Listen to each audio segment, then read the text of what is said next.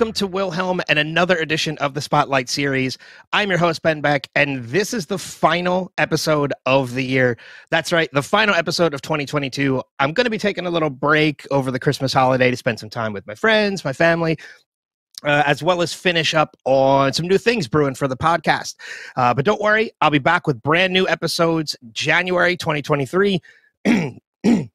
excuse me already um all new top five series all new amazing guests for the spotlight series and so much more so make sure you're keeping an eye on the socials for all of that but as I mentioned, final episode of 2022, and I'm so excited uh, to be ending the year with this gentleman. He's an actor, voice actor who you would know from so many different projects, but if you're like me, you'd know him most uh, from two. The first being Ralph Macchio's partner in falsely accused crime, uh, uh, Stan Rothenstein from My Cousin Vinny, and of course, as Dr. Barry Farber, DDS in the hit show Friends. Please welcome to the spotlight, Mitchell Whitfield. oh, thank you for having me. Now I feel that for the last one of the year, there's a certain pressure that goes along with that which I'm going to try and work through, but I, I, think we'll be okay. Thank you for having me, man. This is awesome. No, I appreciate you coming on. I mean, a little bit of backstory as to how we got connected was you were doing an appearance at Rhode Island Comic Con. Yep. Uh, and a good friend of mine, my friend Jill, was actually, you know, one of the volunteers at the show, and she was working with you that weekend, and she made this connection between the two of us. And thank you, Jill. Thank you. Yeah, thanks, go. Jill. Little, little love for Jill. Yeah.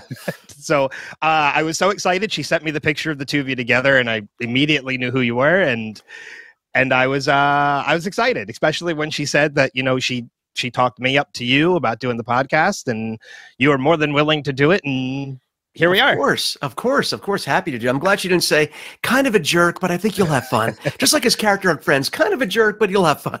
You know what though? Awful. Yeah. If that, if, but if that were true, I probably still would have had you on. No, of course you would have, because that would even make, make, for better video, better, better interview, better everything. Absolutely. So, yeah. which is sad because we don't want to incentivize bad behavior, but sometimes it does make for more compelling shows. You know what I mean? Yeah. Unfortunately. exactly.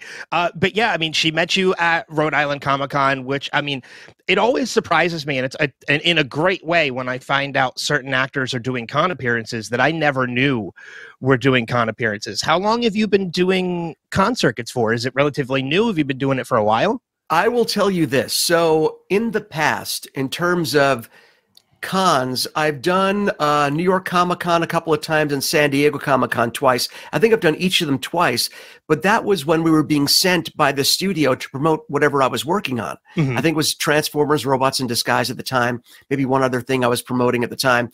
But as far as like me going to a con to do signings, uh, this is my first one in probably years and years. Okay. I've done private signings before, but going to a con like this just to, you know, do signings for fans, I, I, don't think I've done that in a really, really long time. So no, I'm not on the circuit.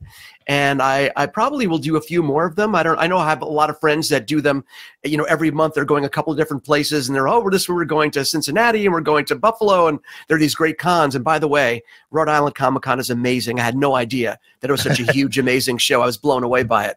Uh, but I have a lot of friends who do them a lot. I probably won't be doing them a lot, but I still would like to do them every once in a while because it's, you know, yeah, personally it's fun for me, but at the same time, it's great to meet with fans that wouldn't otherwise have an opportunity to talk with me and me talk with them and get to share experiences and hear what they want to hear about. And I think that was the most fun part of it, Ben, was that people were there. Yeah, I was signing autographs and stuff, but people were asking questions about movies or TV shows that I've been in. And this particular scene, tell me what went on. And it was really fun to be able to share that information because that to me, I know people love pictures and autographs, but to me, that exchange is more valuable than anything because they get an insight into the world that they normally would just see on the screen. Now they get to look behind that curtain, and, and I love that interaction, having that personal interaction. So it was really, it was really kind of special.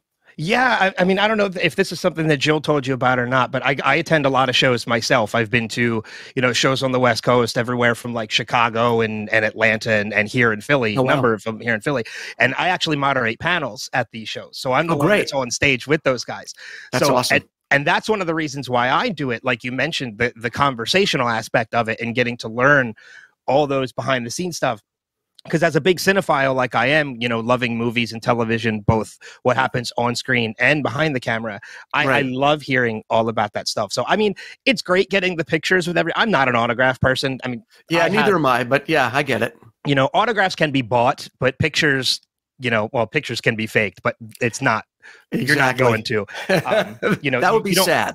Yeah, yes. I mean, all the Photoshop pictures I have on my wall right now, it's it's ridiculous. um, I'm more about the moment being captured in the Right. picture and then the memory of having the conversation. And I mean, and through that aspect of it, I mean, I've been on stage with people like Cary Elwes from Princess Bride and Right. you know people in the big superhero movies and they're fun because the audience is into it and the audience is huge but like i mean i've been on stage with people from like kate flannery from the office and Right. you know voiceover actors like video game voiceover actors from red dead redemption and to me sometimes those panels turn out to be so much more fun than those big gigantic More panels. interactive and more personal. No, I- I get that. yeah You, you know, I mean, not to go too much on a tangent here, but I just had this conversation with a good friend of mine, and I think we're living in a time now with social media and phones, you know, having cameras built in, good quality cameras, and capturing every moment and sharing every moment of our life. That sometimes I think, and I know I'm guilty of this as well, so I'm not saying people do this. Shame on you. I do it too. Where we're so anxious sometimes to capture a moment that we miss out on experiencing Yeah. the moment. And I know we. I just took my my family to Hawaii for my wife's birthday, and we were there. And you know, Hawaii is beautiful. What's not to you know want to take pictures of? Right? It's magnificent. the mountains and the ocean. It's beautiful. And I'm taking pictures. I'm like, you know what? We're just sitting on the beach. I'm going to put the phone away. I just want to soak it in and take it in. And I think it's sort of like that. Well, we're, it's sort of tangential to what we're talking about as well. Where if you have that time with a, with somebody that you've seen on TV that you like, that you like the show they're on, and you want to engage and talk to them about it, to me, that's so much more valuable and so much more interesting and fun than just getting you know the autograph or the picture because you're having that that interaction and you're actually you're experiencing the moment. You're kind of savoring that moment and not just like i want to take a picture of it to make sure. It's like no no i want to have this experience that i remember you know but it's a little bit Yeah. more than just the, the two-dimensional experience you know what i mean? So i think that's really important. I think that's probably why i enjoy doing that so much I'm I'm definitely guilty of that as well. I mean, I've done that more times than I can count, especially years ago. But I kind of I kind of got to a moment in my life similar to you, you know, with your vacation in Hawaii, where I was like, I just want to enjoy this. Uh, and that moment for me was about two or three years ago, uh, 2019. I'm a massive Hugh Jackman fan. oh wow he's So- great so what's not to like yeah Yeah. So when Hugh went on tour, I ended up getting tickets to his show when he came in Philly. And that was the moment where I was like, you know what? I'm such a fan of this man. This is a once in a, not once in a lifetime because he did a whole tour, but right right no i get know, it when is this going to happen again? So I made the decision. I was like, you know what? I'll take some pictures and some video for like the first five, ten minutes.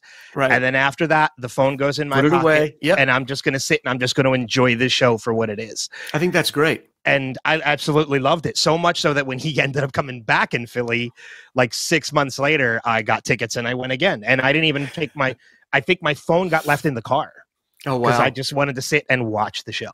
But that's and- that's and that's myself. really that's that's really fantastic, and I think the more that we can do that, not just you know, obviously this is a bigger conversation than just you know getting to meet with a celebrity or someone your favorite athlete, actor, musician, whatever. It's sort of you know I try to apply that to family as well in general. You know, Mhm. just uh, make a make a point to sort of just enjoy the moments, and you know, and as you get older, and I'm definitely getting up there now. These are the things you think about. It's like, well, we don't know. We, it's not a given. Our time here is not given. We don't know how long any of us really has. So Yeah. not to get too morbid, but you want to you want to enjoy it and you want to take it in and just soak in every second of it. So the more I have this away from my face and I can just sort of like, ah, this is wonderful. I'm trying to do that a little bit more. Yeah. Well, I mean, at least it's, you have this in front of your face and not this in front of your face. Yes, that's true. People that bring iPads to take Oh, that's just not. Mm, yeah, You're ruining that- the moment for everybody now, not Yeah, just I think- yourself. that's become like I think that's become sort of like a cliche with like you know older tech folks, you know, people that are you know maybe over fifty or sixty that use technology. Like old people use that. That's not true. I've seen other. I've seen young people do it also. But yeah, the iPad for pictures, it's not a good look. If you're out there taking pictures with your iPad, it's not a good look. But hey. You do you, do your thing. But I'm just saying, you look like a giant TV head, but it's funny. It gives- It gives us something to laugh about, right? So what the hell? Uh, so when you go to these shows and such, I, I mean, I think I know the answer to this question already, but who do people usually tend to recognize you? What projects do people usually tend to recognize you more from? I mean, You know what? Because voiceover is one thing. You don't see a face; you just hear the voice, Correct. Yeah. and you and you don't get that until you actually start the conversation with somebody. right. Um, I would imagine it's probably Barry, but I mean, there's so many other projects you've done. It could be anything. You know what? The big two are always, like you said, my cousin Vinny and friends. And I think part of that is the project, forgetting about me being a part of them, but the projects themselves have become so iconic and so timeless. You know, both of them have been around for decades and people are still enjoying them almost equally as much now Yeah. as they did when they were, you know, first, you know, either released in the theater in, the, in terms of my cousin Vinny or first on television if we're talking about friends. So I think because those two projects have such legs, my association with them becomes stronger just because they're still relevant today. So it's usually, you know, you're the jerk from Friends, you're Barry, or you're my cousin Vinny, the two Utes, two Utes. So those are the things. But what I was amazed by, Ben, was when I was um, when I was in Rhode Island, and you know, because you have your, you know, for people that have never been to one of these conventions, you know, if you're not going specifically to see a specific person and you're in the area where the celebrities or the actors or you know whoever are sitting around at their tables they'll, they'll have a banner behind them that shows things that they've been in with their name and their face. Ah it's me. And then on the table there will be a selection of pictures to sign from different projects. If you're a fan of fill in the blank here i'll have a picture for that that i can sign for you. Um, people immediately my uh, uh, tmnt i was the voice of donatello Hmm. in TMNT in the movie TMNT. And that's another one of those iconic, you know, franchises to be a part of. I've, I've been lucky to be a part of several of them, right? So I think when people see that, you know, oh, that was you and that, so that's more of a visual of the picture, like you said, then they can't see my voice from this, but they see a picture of Donnie, they're like, that was you. I love that movie, or I loved your version of Donatello. So I think Donatello got a lot more love than I ever imagined he would at this compared to Vinny and friends. But then again, at, at these conventions, a lot of it is more pop culture in terms of the animation, uh, anime. So uh, yeah, Donatello got a lot more attention. And, and next time awesome. I said to my agent, I was like, we have to bring more Donatello stuff. People love Donatello. um, they have to bring more pop vinyls to sign. So it's usually a love visual recognition, almost always friends and my cousin Vinny. But sometimes people surprise me, and it's from uh god it's from um dogfight or best men or something else. And i'm like really? Or, or Zack and Cody god help me.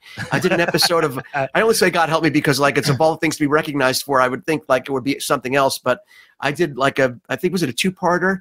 A very well-known episode of Zack and Cody where we were directing uh, I, I was i was the director of this high school musical parody. Um so it was a lot of people saw that and i did this song called floss i mean it was crazy so a lot of people remember that which always freaks me out a little bit but yeah i think friends and my cousin vinny are always the big two yeah I mean, and and I think one of the cool things about going to these shows, and I'll ask you from for, from your perspective about this as well. I mean, especially someone like you, who like this is one of the first shows you've done in in a while, and Rhode Right. Island Comic Con being the massive show that it is. I mean, I honestly think it is one of, I think, in uh, you know, excluding San Diego Comic Con and New York Comic Con, I think it. oh no be one no no it's actually number two i think in terms of people going Y- yeah, i think I, it's past new I- york I think it's now bigger San than New York. Diego, That's right. you know rhode Yeah. island and then new york which is crazy right Do you, do you get to? I mean, do you have? Did you have your geek out moments like if somebody you? Because as a celebrity guest, you get to go to a lot of places that the others don't. So you get to hang in the green room and you know where the the catering and everything is, right and you bump into all these different people who are also guests. Did you have any geek out moments yourself? When You were- know what? Um, it's so funny because I got to spend a lot, some time with Ralph, a, a lot of time with Ralph, Ralph Macchio, who I hadn't seen in a long time. We were and my cousin Vinny together. We've stayed in touch over the years. We haven't been able to see each other in person a lot over the years. So I got to hang out with him. And, you know, because he was not only promoting his book, you know, which New York Times bestseller author. oh, I own it. I yeah, own it. I know. I'm getting, I'm getting two. I'm getting the visual. I'm getting the actual physical and the digital versions. But yeah, anyway. Yeah. So, um, you know, he was there also with Cobra Kai, and which is obviously a huge hit. So I Mhm. got to meet Billy, and I got to meet Elizabeth Shue from the original Karate Kid movie, of course. Um, so there were some people that I was very excited to meet, and you know, they were both really cool. Spent more time with Billy. What a what a really wonderful, nice guy, great guy. And then in the green room, I got to see Zachary Levi, and which is funny I'm because so. I'm I'm a huge fan of Chuck. Me too. So you know, I'm it's like one of my go-to like happy shows.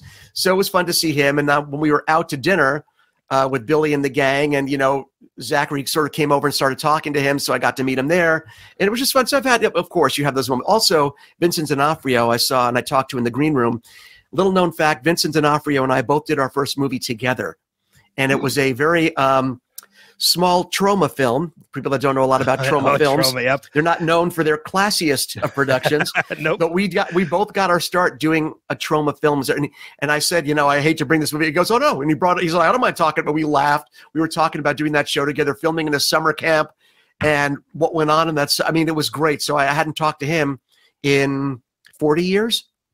So I got to speak to Vincent D'Onofrio for the first time in four decades, and that was a lot of fun reminiscing about that movie. And so yeah, I I got to I got to geek out a little bit. I got to reconnect with old friends. So it was a, a good combination of you know sort of a hangout, a geek out. We'll call it a geek out. Yeah. it was a great geek out for me. Yeah, that's that's awesome, and it it really it, it does my heart so happy to hear other Chuck fans because I I, oh, I love that show. I'm such a massive fan. It, it is probably to this day still one of like my top three favorite like um like hour long shows. Not, Oh, not I- sitcom, but Oh no no oh absolutely. I have he, I have my three that I always go to. They're all single name shows. It's Fringe, Grimm, and Chuck. Those are my three guilty pleasure shows. With Fringe probably being number one, just one of the greatest okay. TV shows ever made. Wow, I just love Fringe. Um, but yeah, it's uh, it's great. Chuck is to me one of the great underrated hour shows that was ever done, and I still. I've watched it all the way through, probably five or six times, all the way through, and I still I know all the lines. I still cry at the end every time, like a baby. Not afraid to admit it. Uh, I still get emotional watching that show last season. You know, so yeah, it was so it was sort of surreal to see him. I was like, ah, there he is, And and, I'm get- a fellow actor, so I know better. I'm still like, there he is, right there. So Yeah. it was fun. And I get so excited every time. I know we're again. This is another tangent. And apologies to listeners or people listening or watching, but um, I get so excited every time I hear the rumbles that Zach wants to do a Chuck movie. You know, he wants to Ah. bring everybody back because I know that was the plan. They're all still friends. Yeah, I think Yeah. they're also pretty close. I would, I would absolutely love that. I would love it. Uh, I still laugh because you know the exterior for the Buy More was done not that far from where I live. That exterior shot Okay. was on Fallbrook. So whenever I'm over in that area, and I think what was that? Was it a Kohl's? It wasn't a Kohl's. There was another store that they they used as the facade for Buy More, and then Underpants, etc. was right. And I start to laugh at Underpants, etc., which is a combination of many different stores. And I and I know exactly where that was. And, I, and whenever we go to that strip mall, I'm like, ah. And underpants, etc., is right here. So I get I get that visual of it whenever I go to that neighborhood. It's so funny. That- That's such a great show, and you're right. The Ah. ending with like the with rivers and Ah. roads playing in the background, and kills me. It just kills me. I, and I know there were people that were disappointed with the ending, but I was like, you know, like I I feel like that ending was fantastic. Oh, it was the best, and just I, I can't get into it because I'll start getting emotional and crazy. Yeah. but love that, love, love, love me some Chuck. So yeah. You know what? Maybe in January or maybe in next year in 2023, I'll do a because I've done like top five episodes of Community, and I haven't done a top five episodes of Friends episode yet or a top Oof. five episodes of Chuck. But if I do a top five episodes of Chuck, maybe I'll bring you back. You can be my guest for, and we Let's do it. over Chuck We for like could- an hour. oh, I would just yeah, y'all. you had me at Chuck. I would Yeah. do whatever you want. That- I love that show. love it. Um, so off the topic of the convention, which I'm glad we got to talk Sure. about because I, I love talking about all that. Um, of course we have to talk about friends, but I don't want to spend too much time on it because there's a bunch of other stuff I want to talk to you about. Right. Um, but of course we have to talk about it because it's like you said, I'm it's such- here. it, it, you're right, and it's such a massive hit. And one of the things that I, I I I really wanted to bring up and kind of addresses the fact that like you played, uh, you know, Dr. Barry Farber, who was originally the fiance of Jennifer Aniston's character Rachel. right. And out of the 10 years that the show run ran, you were only in six, maybe seven episodes of the series Correct. Correct. but that character resonated throughout all 10 ye- seasons of that show. I mean, what was it like playing a character that even though you were only in a handful of it was still such a massive part of that series so much so that again everybody knows that character even though you were only in a handful of episodes. I mean that that's like to, uh, to me that's more of a testament to the show and how strong that show was and how people were attached to that show and how well written, how well acted, how well produced. Um, it, it was it was incredible. It was like it really was. I mean, I'm not oversaying saying a force of nature in terms of shows. and um, it's it's crazy. I mean, obviously, it's it's been a big part of my career and history just because just having done it. I think people have asked, well, how did it affect your career? And obviously only positively. It's not that like I was on that many episodes or I got to show that much of myself. People are like, I want to hire that guy. But you know, anytime you do something that has that kind of visibility, there is not a lot of downside. Mm-hmm. Um, and it was it was amazing and it was fun to be there from the beginning because i don't know if you heard the story but i was originally down to like the final cut the final two guys for um for ross yeah and at the last minute, they're like, "Oh, we have this guy. We want to bring in David Schwimmer." We're. I was like, "Okay," and he ended up getting the part, and rightfully so. He was amazing. Um, but I never, I never felt, "Oh man, that's horrible. It could have been me." I was happy to be a part of it because I read the script and I, I thought it was going to be a huge hit just from reading the pilot script. And that's only happened to me a couple of times in my career when I read something and said, "Yeah, that's going to be a huge hit." But more than anything, I love the script. I want to be a part of it, and that's mm-hmm. what it was like for Friends. So even just being in those six, or like you said, I think it was the sixth one was like a two-parter. So I guess seven, maybe I don't know. Um, like the, the, one that could have been, I think, or correct was yeah. a two-parter. Yeah. Um, but it was it was amazing, and I like having been on the entire journey from.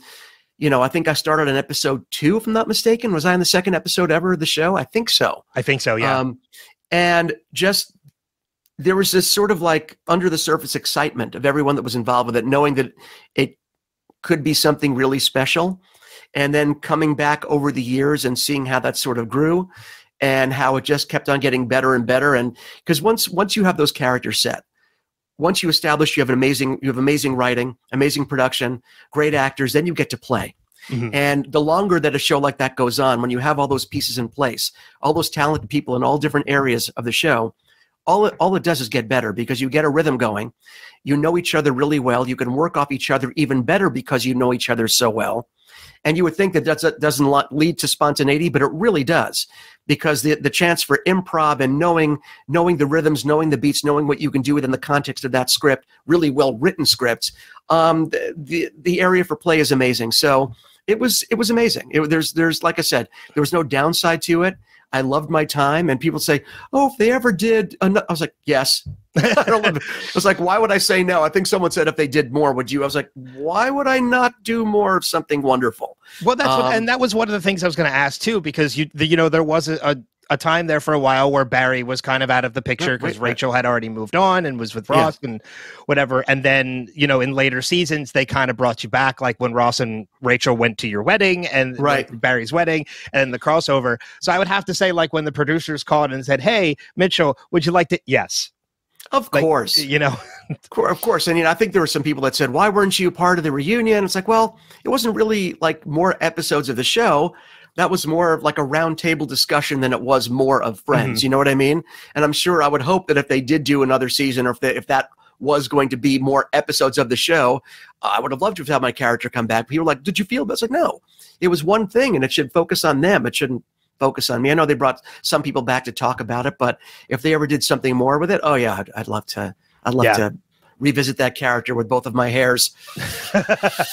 yeah, I mean, and, and, going back to one of the things that you said earlier about how you know when you have that cast and they they put the work in, and you know the longer they do it, the more cohesive it becomes, and the, you know, there's more improv. I think a good example of that to anybody who's a friend of the, a fan of the show who watches the outtakes because the outtakes of every season, which are one of like that show has some of the best outtakes of any series out there. Oh, they crack each other up, yeah. And and that's the outtakes are actually very good indication of that because if you look at the outtakes from seasons maybe one through maybe three, you know there are these light oh oops i made a mistake let's go back and do it again yeah. and and then in the later seasons it's outtakes it's like, of them intentionally doing exactly to crack each other up oh yeah uh, totally breaking each other up and it's great yeah. there's nothing there's nothing i could tell you as an actor uh, the joy of making you know one of your castmates or fellow actors break.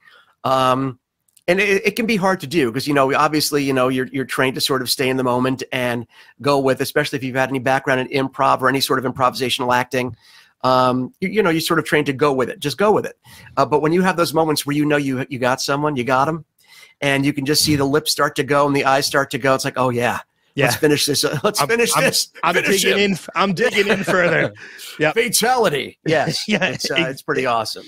Exactly. I mean, so I mean, you know, even though you were in those handful of episodes, I know there are people that don't watch projects that they were a part of. But did you watch the series either when it aired or, or afterwards? I watched it when it aired. I haven't watched it as much in rerun. It's been it's been on the air for twenty something years, um, but yeah, I watched it when it aired, and it was fun. I mean, it was we we I think we had a couple of viewing parties for the first couple of episodes um, that I was in, and yeah, I watched. You know, it's hard, and I, I try to explain this to people. It's it's not that I cringe watching myself, but again, it's when I uh, let's let's put it this way: when I go to a movie, when I go to a movie that I'm not a part of I'm sitting in the theater. I'm sitting there like anybody else, just sitting there like a big fan, letting the movie wash over them. I'm not mm-hmm. sitting there picking it apart or saying, "Well, I would have if they were if I was shooting this. Why did they pick that?" I just watch it and enjoy it. Um, I try to do the same when it's something that I'm in, but it becomes more challenging because it's easier when you know when you're not a part of something. Just look at something and have it wash over you and enjoy it. When it's you, you know, you're wondering, okay, is that the best take that I did? Was that, oh yeah, I don't know because you realize as an actor when you do all this work when you're doing a movie or tv show you're shooting multiple versions of that same scene over and over even in television. Even though they're shooting it in one night you're still doing multiple takes of it. Um, so you never know which version the director and the editor are going to take to make that and to piece together that show. So you realize they can make a million different shows just out of the takes that they have. So sometimes when you're watching you're like oh they did that. Okay, that was really good choice. Oh yeah. So sometimes it's hard not to watch things clinically when it's you when it's you're watching yourself. Mm-hmm. I try not to do that. Or sometimes I'm just like, oh God, look at that. Oh, what was what was I thinking? So once you get past that, sometimes it takes a couple of times of watching something where you can just like, okay, I'm just going to watch it and enjoy it. You know, and I'm not like that with the other actors. You only tend to do that with yourself.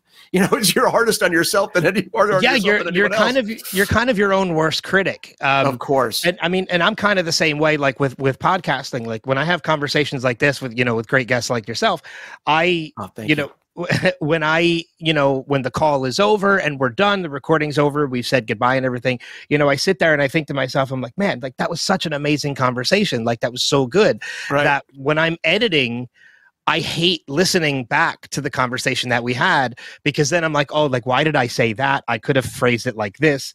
I do the same that, thing. That question shouldn't have been asked that way. Like, oh, I, I wish I would have asked this. And it kind of takes away from that euphoria I had when the conversation first ended. And, and you know, that's what I want to remember, not the criticism of myself. You know what? You watch it a couple of times uh, you watch it, as I like to say, clinically, the fir- or watch or listen the first couple of times. Once that's done, go back and watch it, and then just sort of take it all in. That that's what that's what I notice. What's happened with me, mm-hmm. especially you know, it, it's so funny. I've the things that make me. I usually don't get nervous about interviews or meeting other actors or working with celebrities and stuff because it's it's part of my day day to day. It's part of my job, right? But still, as a fan, you can't help but you know, get excited about certain people, certain things. Well, I'm a huge board game geek. Okay. I was going to bring this up because I found this out about you and it got me excited. I'm a huge board game geek. And I've become friends over the last couple of years with Jamey Stegmaier, who's one of the best game designers and publishers in the world. And he had me do a top 10 list on, on his YouTube channel Mitchell Whitfield's top 10 board games. Mm-hmm. And I, I felt pressure and nerd, and I was so geeked out and excited about it. I was like, oh, I hope I don't, hope it. It's like when I first heard I was going to be Donatello. It's like, I hope I don't screw it up. Hope I don't mess it up. Hope people like the games that I picked. And I, I even said to him while we are doing it, I was like, I don't really get nervous, but I was a little stressed out coming up with this list. So yeah, it's, it's hard to not get geeked out or stressed out about the things that are important to you. So yeah, yeah, I don't even know why I brought that up. But no, I'm I'm glad you brought that up because that was something I wanted to bring up, and I was going to bring it up at the end, but I might as well talk about it now. Hey, um, let's do I, it. I got into board gaming very oh, late to you. the I got into it very late to the game. Maybe right. maybe like 5 or 6 years ago. Like board gaming to me before that was Monopoly, Monopoly, Life, Clue, yeah, yeah uh-huh. stuff like that. And then I, I I became friends with a group of people who like are my best friends now. Like actually this coming weekend, this Saturday, uh, PAX Unplugged, which is a huge tabletop board gaming convention in Philadelphia, is in Philly, and we're all going on Saturday because that's what we do every year. We get together and we go, and because of the pandemic, like we used to get together at least once a month, um, at the very least, if not more, to just right. gather around the table and break out as many games as we can. Oh yeah, and and then the pandemic hit and we tried doing virtual games on Tabletop Simulator, and they worked. Some of them worked, They some of them didn't. Yeah. This past Saturday, we got together for the first time in like a game. We did our Thanksgiving day. Lo- what did you play? Um, so we played. So Splendor was one of the games that comes out Okay. almost every time. Gotcha. Um, That's like seven wonders for us, but go ahead. Yeah. Yeah, we played another game. It's a game that I brought called Competition Kitchen, which is like a card game. It's kind of like Top Chef, but in card Okay. game. Oh, that form. sounds really cool. And we had so much fun playing that. Um, we played Mysterium. Oh yeah. Uh, you know, there was, and there was a couple other games that hit the table that I can't remember what we played. I can't remember. One of them was really fun, and I can't remember the name of it. Um, and you know, Have you guys just- ever played Dice Throne? By the way. glad you brought that up. people, um, people on the video won't get this, but I I did watch that video. Um, my vid- there we go. I did Yeah. watch that video of you doing your top ten, so I know that your number one is Dice Throne. It is. Have you seen the Marvel Dice Throne? Have I seen it in my closet when Okay. my other games? Okay, yeah, I, I'm I'm obsessed. All I have everything Dice Throne there actually is, including the Santa versus Krampus holiday. There's Pack. a Santa versus Krampus pack. Oh yeah, and they even made metal dice for it. I, the only thing I didn't get was the metal dice, and I actually on Instagram, the people at Roxley Games who published the game reached out to me like, "Oh, we're so happy you like the game." I'm like, the only now I totally regret not getting the metal dice, and they were laughing because they're so beautiful. Dice Throne is a great game to play virtually because as long as you have the character, your character, and your opponent's character. You can play virtually. I'll just when you put a when you put an effect on me, I'll just take that chip and put it on my board. Um, it's a great thing to Oh. do remotely. It's the perfect remote game.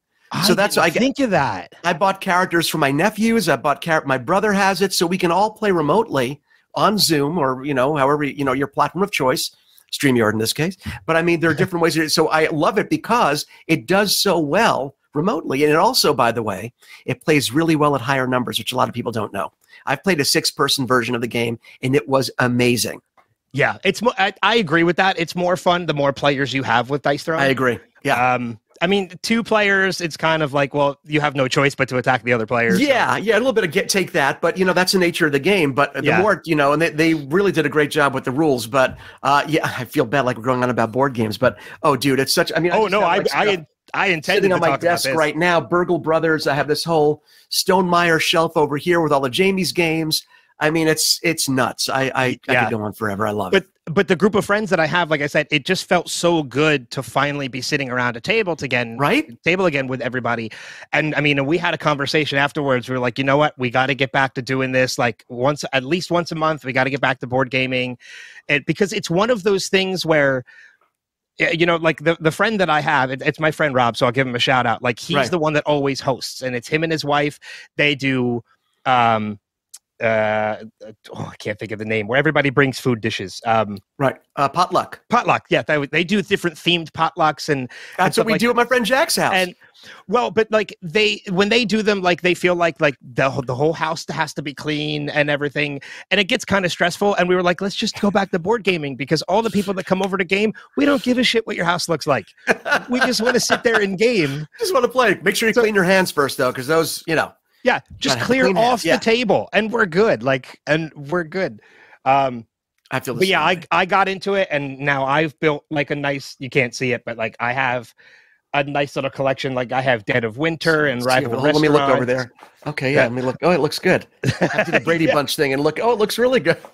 yeah exactly so but i mean it it- it's it's so cool like th- to know that you're you're a, board, a tabletop board gamer like that it's just a ton of fun when i learned that I love it, and you know, I think it's the the social aspect of it that I really enjoy the most.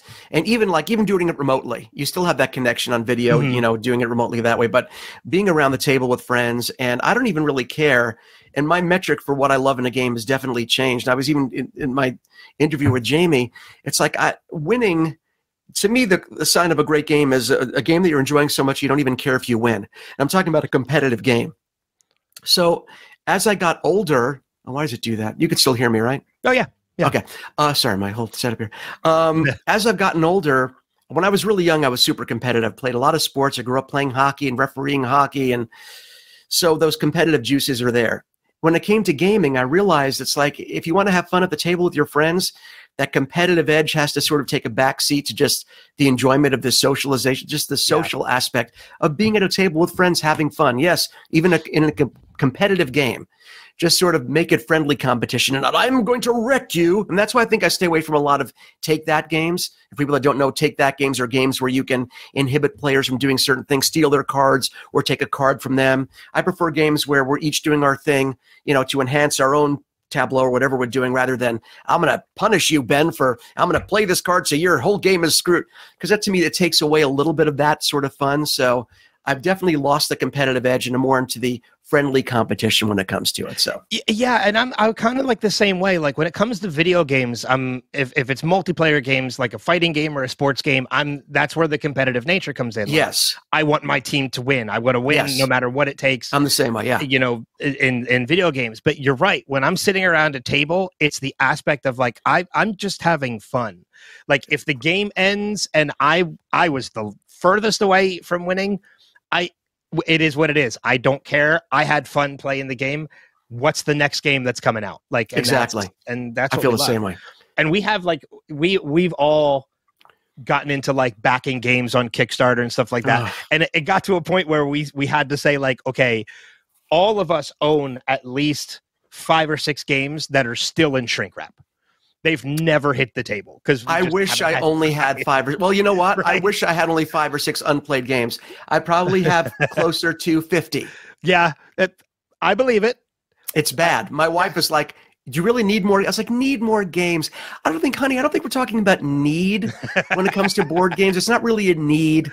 It's in that collector in me when because board games have beautiful artwork, they have great yeah. writing, great table presence. So there's a collectible aspect of it for me as well, just because I love the beauty of them too. Some of them are just beautiful to look at. So I'll open up the box and go, oh, look at this miniature. Look at these cards. They're so I'm really kind of a sad little man, but yeah, it gives me joy. What can I do? It gives me joy. I can't help it. Yeah. So I'm I'm I'm exactly the same way. But we kind of put ourselves on like a, a, Kickstarter pause. We're like, okay, no more backing any games for a little bit, maybe a couple years. And then when we go to PAX this weekend, we're literally like I know at least my buddy Rob and I were like, okay, nothing over twenty dollars. We're bringing like a backpack or a shoulder bag. If it doesn't fit in the bag, we're not, not coming it. home. And you, you let me know how that works out for you. I know. I, you know, Ben, I will follow up with you. I'll follow up with you in a couple weeks. I want to hear how that worked out for you. Okay, yeah, we'll find out. Yeah, let's see how that works. I think we've tried that in the past and it never happens. Box it up and ship it. Yeah. Oh, that ha- that has happened. Oh, I know it's happened. Of that course, is, it's happened. It's happened to me too. Yeah, that has absolutely happened. I don't have room for this, but can you ship it? Yeah, we can ship it. All right. Of course, we can. I'll take it. Here's my card. Um, oh let's shift to. I'm glad. I'm so glad we got to talk about that because I did want. Oh, you made me happy. Yeah. Well, we could talk about this off the air too, so it's good. Oh yeah, absolutely.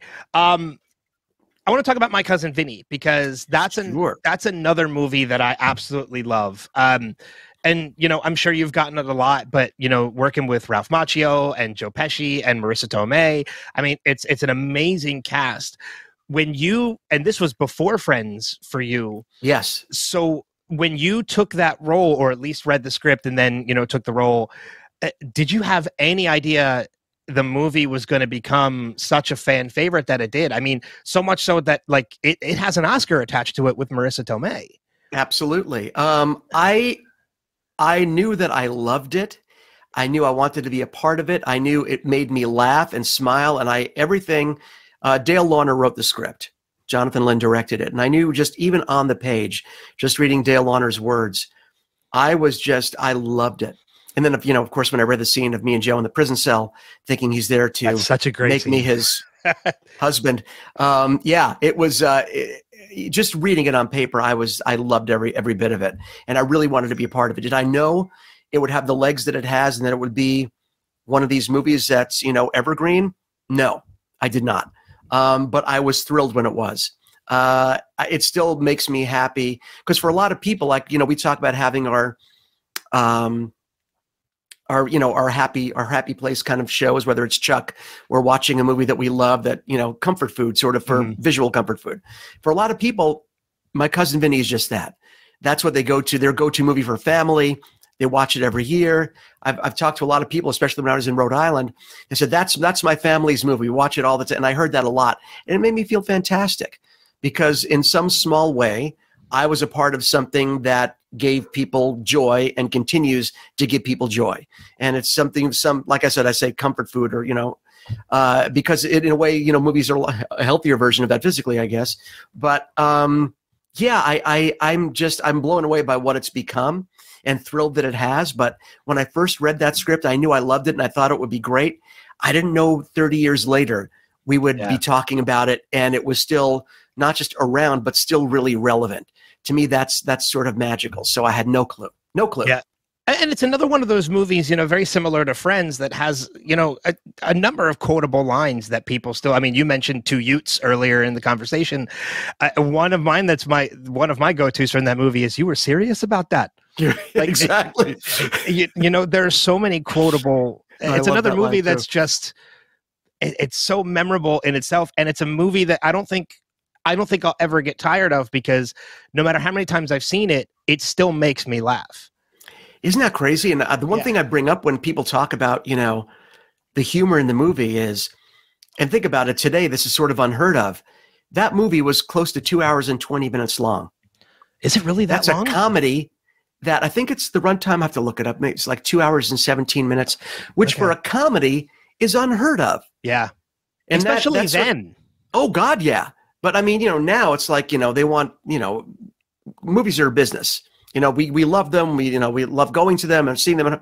It's a business. Mm-hmm. and they want to get as many showings in the theater per day especially these days where less people are actually going to the theaters.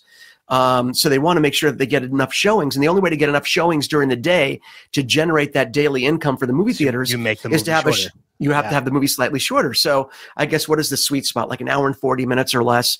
Um, but this was a movie that was almost two hours and 20 minutes and a comedy so it's really a testament to not only the script but also to our director, Jonathan, and how he paced that movie. Because the pacing becomes sort of the driving force for how a movie feels. Mm-hmm. And I've used this analogy before in interviews where you can sit in a movie and it could be an hour and 20 minutes long and it feels like it dragged on forever. Yeah. Or, you know, conversely, you can sit in a movie for three hours and go, what do you mean it's over? I, I just started. So that's not necessarily, you know, indicative of the length of the movie. That's how well the movie is paced. So I think My Cousin Vinny is a very well written and very well paced movie. And that made the length of it sort of inconsequential because people don't even realize when I mention it, like you, they're like, was it really I had no long? idea. I was like, it was long. You know, I'm going to look it up while we're talking. Yeah, that I mean, and, and, that's that's fine. But I mean, you're right. I mean, the length of a movie definitely dictates can can dictate the enjoyment of the movie as well. Absolutely. I, you know, I go I go to a lot of advanced movie screenings, and one of the first things I look for once I'm sitting in the theater is I usually get on my phone and I look at the running time of the movie I'm about to watch. Yeah, of if course. I'm, if if I'm sitting in the theater going to see a Marvel movie, like uh, like when I saw Wakanda Forever, and I go online and I see it's two and a half hours, I'm like, okay, that makes sense. That's pretty par for the course. Two hours, you know, two fifteen, two thirty is that last night I went to a screening of Violent Night with David Harbour. I want to see that. How was it's it? So much fun. I knew it was going to be. It is so much. Like I, I actually took my mother with me to the screening because she wanted to see it, and I could hear her audibly laughing and gasping next to me, and I could hear people like the entire theater was. Just oh, it looks like so. I love the idea of it. You know, badass Santa. I mean, yeah. who doesn't want to see that? And and one of the things you know when you usually see like action like over the top action movies like that you know that are holiday themed in my mind i think hour and 35 hour and 40 and then i sat in the theater and i looked up the running time like i usually do and i saw hour and 55 and it kind of surprised me. I was like oh i didn't expect it to be that long. Right. And it doesn't feel that long see? at all because it's so enjoyed like you are yep. enjoying the movie. Yep and when you're yeah. having fun, I see. I have to see that. I I have to see Wakanda Forever, and I have to see uh, the Santa. What was it called again? Violent Night. Violent Night. I, I this. It's one of those things where I saw the trailer for it. And I was like, oh, I have to see that movie. I was. I, I see saw, that movie. I saw the movie poster of David Harbour as Santa. I was like, wait, David Harbour is playing Santa? Like with the with okay. the hammer? They have like a hammer over his shoulder. Now, or? well, this was before he even had the hammer. It was just okay. him as Santa. Right. I was like, okay, this interests me. And I saw, and then the, when I first saw the trailer, I got to the end of that trailer. I was like, this might be my new favorite Christmas movie, and I haven't even seen the movie yet. Exactly. Yeah, that's going to be a holiday favorite now too, right? Yeah. Oh yeah. That and Spirited are going to be two of my new favorites oh, every oh, year. God. Oh God. Um, no, it's it, yeah, but it's it's it's hard. now. How, when you go to the movies, are the theaters crowded still? or have they have they become crowded again, or is it still sort of? Mm, I haven't half- been. I haven't been going to anything outside of screenings, okay, but the screenings are pretty full. Wakanda Forever. the screenings was- are packed. Yeah, Yeah, Wakanda Forever was full. Violent Night last night was pretty full. Um, I haven't really been to a movie like on my own, I, like going and buying a ticket and going. Uh, there are a couple movies I do want to see that I missed the screenings of. Like I missed the screening of The Whale, which is Brendan Fraser's new movie. right, right, right. It's supposed to be Um, great, by the way. I- He's supposed to be amazing in it. I hear the movie is great, but it's very heavy. yes. Um, no pun intended on the character. No, I know, I know. It's Um, it's yeah, it's it's not a it's not a rom com. Yes, No. absolutely. not at all. But that is one that I will most likely go to theaters to see. Right. Um, so yeah, I mean, I don't know. I can't speak for regular movie screening or regular movie showings on how busy they are, but screenings have been busy. But that could also be there people getting free tickets to go see movies. so Yeah, I think the not? screenings are a little bit different, but uh, yeah, I just I, I would love to see you know the industry sort of get back to and I get it, I get it. We've gotten used to. I mean, you know, the pandemic has changed a lot of things. Some things I think for the better, uh, aside from all the negative, obviously all the death and horrible things and Mhm. loss of money. But there are some things in terms of how we live our day to day lives and how we work now uh, that I think have changed slightly for the better. But one thing I'd like to see come back is the movie industry because it's so it's easy to watch movies at home and it's sometimes convenient. I've had a bunch of surgeries over the last several years, so there's certain f- movies I couldn't have gone to. So having the option to watch them at home when they came out, huge, huge Yeah. thing. But still, being in the theater is such a wonderful thing, and I'm just hoping that you know. I'm hoping that doesn't go away because, you know, obviously the theaters aren't doing as well as they used to. So if we could all be safe and find our way to still support that, that would be fantastic. Yeah, I mean, I'm a big theater goer. At least I was, you know, before the pandemic. Like yeah, I, me too. I, I had and still have like an AMC uh, Stubs Gold membership, so you know I can go see as many movies as I want. And get the month. popcorn and drink refill. So Yep. let's not put that, you know, come E- on. ex- exactly. But I haven't been utilizing it since theaters reopened. Um, but I but I refuse to cancel the subscription because I know eventually I want to get back to going Right. to see movies a lot. Right. Um, so yeah, I'm I'm right there with you. Like I I I love the movie going experience, the theater going experience, whether it's you know a, a movie in the theater or going to New York to see a Broadway show. I Oh, mean, God, I, yeah. I made it a point. I went up to see Music Man because again, Hugh Jackman. Um, I went up to New York to see Music Man, and How was uh, it? It was fantastic. I mean, it was awesome. it was Hugh Jackman in Music Man. Like it can't. on Broadway. and yeah. now I'm excited because we keep going off on all these different tangents, but I don't care. That's okay. Um, that's what That's these. fun of it. That's yeah. That's the fun of these conversations. I'm now excited because once Music Man is off Broadway in January, they're clearing Winter Garden, and the musical that's taking over is Back to the Future. Oh wow. Yeah, which has been playing in the West. It's been playing in the West End in London, and has actually won a bunch of awards in London. God. And I've been like, I, I was telling people for years, uh, for like the past two or three years, I'm like, if you want to get me a gift, a plane ticket to London is nice, so I can go see Back to the Future. That doesn't suck. You know, Yeah. it's I'm s- I'm very intrigued by what they're making, you know, what they're making into Broadway shows now and how that, you know, because a lot of it obviously being out here in LA, you know, some of the stuff will make it, you know, to the Pantages here, beautiful theater. There's some great shows that make it here, obviously, and touring companies or shows that start here and go to Broadway or and vice versa. But obviously, nothing like you see on Broadway or in London for that matter. And I'm always there. I did a movie years ago called Dogfight. Pretty dark film. Was like a dark love story with River Phoenix, Lili Taylor, myself, Richard Panebianco, and Anthony Clark, and uh, E.G. Daily. Um, and it was a really interesting, dark film about these Marines uh, the night before they go off to what is to become Vietnam. And their one last shebang before they go off. And the theme of it was kind of dark. And I think that's why it didn't get uh, fully embraced, which I understand. But they ended up making a musical out of it Hmm. Dogfight the Musical. And I was like, oh, that's interesting. That was something I would never think they'd make a musical out of. yeah. It's right up there with Anne Frank the musical, which I Wait, is there an believe. Anne- Is there really an Anne Frank the musical? there was off Broadway, absolutely Anne Frank Oh. the musical. Oh yeah, Okay. Certain things, and it's sort of like you know brought back memories of. I was like, is that real? Because I couldn't help but think of the Mel Brooks movie, The Producers, or the, the Broadway show, The Producers. Which I love Were the Broadway show of the oh, oh, producers. Oh, please. It's fantastic. And Yeah. where they famously, you know, where they're making, for people that don't know, they, they the, the whole idea is these two crooked producers are trying to get everyone to invest 100% you know, you, you want 100%, you want 100%. And the only way they can do that is by making sure they create a flop musical so they don't have to pay anybody back. They get all the investment money, the show tanks, and they get to keep it. They don't have to share the percentage. Mm-hmm. And of course, they decide to make Springtime for Hitler, which is a and great it- thing for. So of course, when I when I heard Anne Frank the musical, I was like, "Is this a joke?" Um, I don't know if it's a very tasteful joke, but uh, yeah, and, and Frank the musical. Absolutely, I actually know someone that was in it. So I'm always intrigued by what makes that conversion from either television property, movie property, or book um, to to to the stage. So and now now I'm kind of Back to the Future sounds really interesting. I kind of want to see it now. And and I'm like I'm all my friends know like I am. Anytime they have questions about Back to the Future or they learn interesting tidbits about Back to the Future, like I'm the go-to person. Like I in my living room i have like a whole shelf that's nothing uh, but like i have like the crystal pepsi and the license plate and the newspaper like oh have, my god. I, am a massive back to the back to the future fan. I've met bob gale michael j. Fox christopher lloyd and like oh I've, I've met the cast. Um so when i first heard back to the future the musical i was like man like really? Like did you have to make a musical of it and, and now you're intrigued. And then I, I heard all the awards and the accolades, and then they put the soundtrack on Spotify, and I was like, okay, I have to listen to the soundtrack.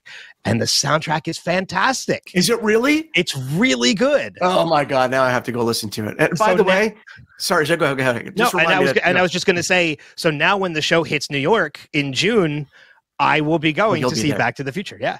Oh hell yeah! I was going to say all I could think of when I when I think of Back to the Future, the one line that always comes to mind is "You better get used to those bars, kid." that just it always was. It that his Uncle Joey? Was Uncle it Joey? Uncle, Uncle, Joey? Yeah. Uncle Joey. So that's the one Joey. thing that always it always yep. stands out in my mind when he sees him there in the crib. You better get used to those bars, kid. And I just laugh. I just it was a great reference. I just there. There are so many little nuances to that trilogy that I love that so many people don't know about and I love anytime I get to be around somebody when they discover those little things. Like I'll, I'll just give you like one example. Yeah. Um, the T-shirt that Doc Brown is wearing in 1955 when he's in the DeLorean and it gets struck by lightning and he gets sent back to 1885. Right. In Back to the Future 3, because it took me a while to discover this one. In Back to the Future 3, when Doc and Marty are hijacking the train and Doc is wearing a bandana, it's right. the faded shirt he was wearing in the DeLorean. Really? And it's got trains on it. Oh, that's awesome. It's a 50 shirt with like little pictures of trains on it. And when it's hard to distinguish because the shirt is very faded when he's wearing it as a bandana. But if you look close enough at it, it's faded trains. It's the shirt he was wearing in the DeLorean when it's struck by lightning, which makes sense because it was on him. It was probably one of the only pieces of clothing he had. Right. Oh my God! That yeah. Don't you mean? Okay, so now I'm going to blow your mind a little bit. Unless you're, are, are you a big Fringe fan or no? I I did watch the series and I was a big fan of it, but I didn't dive very deep okay. into it. But I do know of the show. I did watch it then you'll probably get this reference. If it, by the way, if someone is planning on watching Fringe, I come spoiler alert. Hardly right. I was going to do a spoiler alert now, and then when I'm done, you can unmute. I'm going to put my hand up as soon as I'm done. So if you want to watch Fringe and you don't want to know any spoilers, please stop listening right now. Okay, so in Fringe, you know they have the alternate universe, which is kind of just mm-hmm. like our universe but slightly different. When they go to the other crossover and go to the other universe in one of the episodes, on one of the marquees, uh, you'll see, I think there was like, it said Back to the Future starring Eric Stoltz. I love okay? it. okay.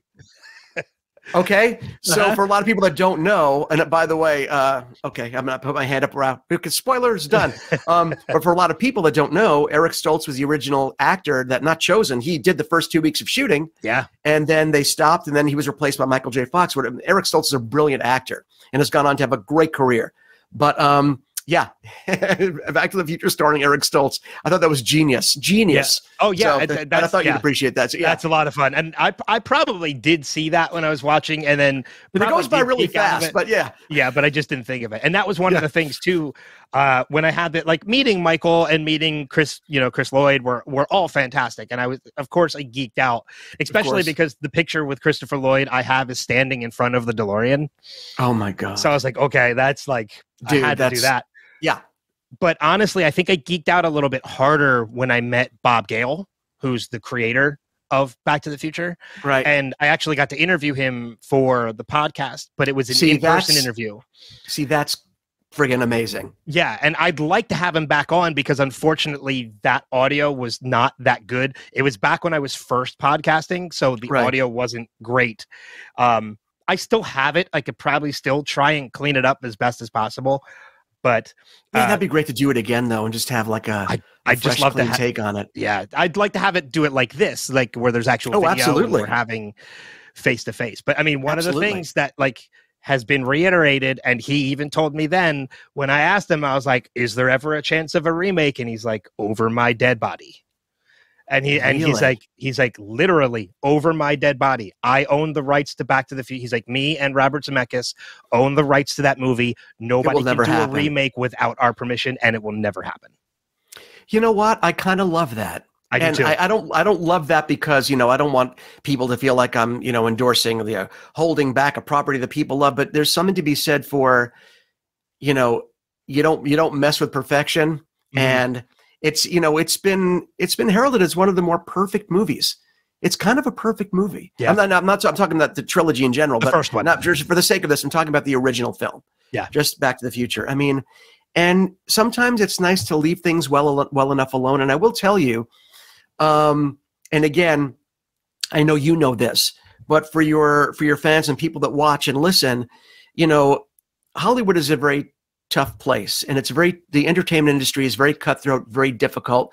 There's a lot of money at stake a lot of money that's made but also a lot of money that's at risk when you invest in a project and it doesn't turn out the way that you wanted or you put all this money into a film it doesn't have a great opening weekend which means it doesn't have great follow-up weeks which means you have to make the money back in dvd sales or in you know streaming.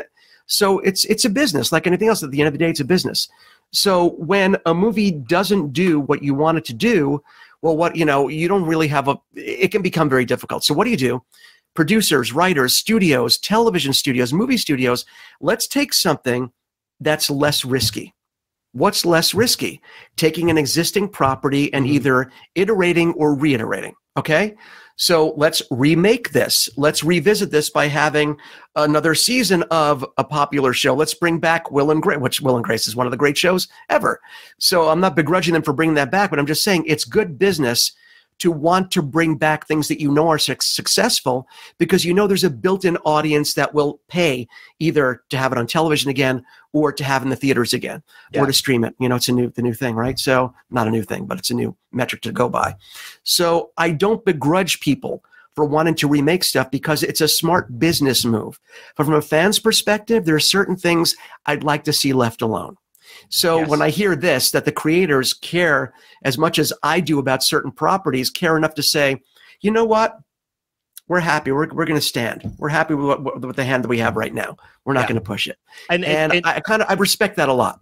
I do too. And I'm, I'm when I heard Bob say that, and I've heard, uh, you know, I've heard it repeated a number of times since then that there will never be a remake. Like I kind of feel at ease a little bit, knowing that, you know, Right. because I know like people have asked Christopher Lloyd, like, oh, would you do it if they brought it back, if they made another one? And they all have their own opinions on it. But just knowing that they stand firm that there will never be another movie, there will never be a remake, I'm like, I'm good. Like, I'm perfectly happy with that. Yeah, I feel the same way. I'm going to Um, burp now I'll just talk Because- it. It's because I'm a classy dude, and I did announce it, turn my head because I'm a classy fella. that's right. Mhm, you. Um, yeah, and, and and I'll just leave you with this one more Back to the Future fact, and then we'll No, no, move go for on. Um, one of the fun things I enjoyed seeing too is if if anybody has ever seen. Now I, I'll ask you this because um, do you know what the original idea for the time machine was before it was a DeLorean? Well, I can't say phone booth because that was Bill and Ted. No, but Um, it. Mm, But that's all- that's the first thing that that's the first thing that came to mind for some reason. But I know that's also Bill and Ted. So go ahead, tell me what it was. it was a refrigerator. Really? Yes, it was a refrigerator. The idea was that it was going to be Marty was going to be in a refrigerator. Now, when I explain this, you might realize you've seen this before because it was reused. The original idea that the time machine was going to be Marty was in a refrigerator that was part of a nuclear explosion. What? And it, and it was the nuclear explosion that sent the refrigerator back in time. that I had think that I I like the DeLorean better. Oh, I love the DeLorean better. What are you kidding? But Spielberg has reused that idea. If anybody remembers the opening of Indiana Jones and the Crystal Skull, when Indy is on, I think it's out in Nevada when he's in that test area where they're setting off the nuclear bomb and he knows he can't get out of the area. Oh, doesn't he put time himself in a refrigerator? he Or puts like a- himself he Yeah, puts yeah, yeah. himself in a refrigerator and the Oh, refrigerator God. is blown out of the area and he survives miraculously Right. How does that happen? It's almost as if it was written that way. Oh, that's crazy. I didn't realize that. that they- is awesome. they changed the idea one because it was horrible um, and two because the writers and the producers had a fear that after seeing the movie Kids, would go into refrigerators going and it would be dangerous. Yeah, they were it was it. going to become dangerous that kids Yep. were going to start going into refrigerators pretending it's time machines they were going to get locked in and there was going to be too many But now those same kids are speeding in a very unsafe, albeit very popular DeLorean. yes We got Yes, what is it? Eighty-six point.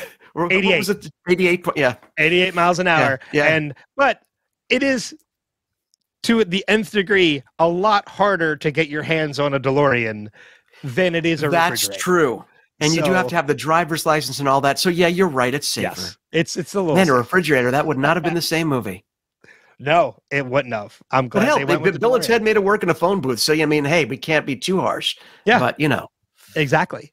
Um, another movie I want to bring up that you were in um, is a movie. So, you know, we talked about like being in the pandemic and going to like, you know, people rewatching Friends and things like that. There's comfort shows and comfort movies. Yep. Even pre pandemic, there are a handful of movies that I will just regularly go back and rewatch because I just adore them. right? Um, you are in one of those movies, and it's not my cousin Vinny. Uh, two of the movies in that handful of movies are military movies. One of them is Down Periscope, which you are not in.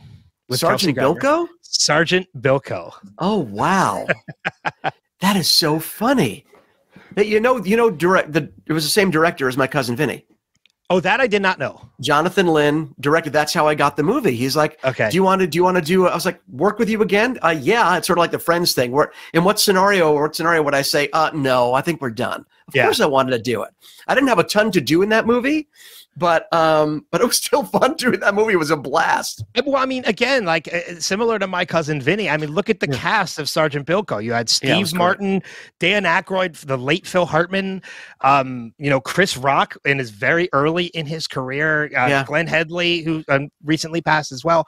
I mean, it, Yeah. it, it was a fantastic cast, and It really that was. movie, uh, it's not critically rated. I I think it's very underrated because that movie still makes me laugh. Uh, I, I love that movie. yeah, it was it was a lot of fun. It was fun to be a part of it. It was fun to you know I enjoyed the movie as well. But I, you know it's funny you bring up movies and immediately I start thinking about when we made it, what we were doing, and different Mhm. scenes. As, as soon as I hear it, I can't help but like go back to that time. And I still remember getting to hang out with Steve Martin, and boy, talk about a genius Yeah. actor, uh, film writer, uh, playwright, author, successful at all of them, um, and just such a brilliant guy. And people would probably be very surprised to know he's very shy and understated in person. Yeah, that's very, very much so. You would think, you know, especially if you go back to this, you know, SNL stuff, um, where you know the wild and crazy guys and all the characters he's played, and he's such a gifted physical comedian as well, and just a wonderful actor. And you don't think of him as being, you know, subdued and you know, sort of shy and a little withdrawn uh, in public, but he's just very, very, you know, very shy and quiet, and just just a friggin' genius. Friggin', it was so much fun working with him, watching his approach and just getting to spend time and just pick his brain a little bit and work. It was wonderful wonderful. And phil hartman and i became friends and uh, obviously that you know tragedy awful. Yeah. um, but what a, another just another great guy. Funny and caring just a, just a really good guy It's so interesting to hear you say that about Steve Martin because that was something I didn't I didn't know and I didn't assume just because of the personality that he shows.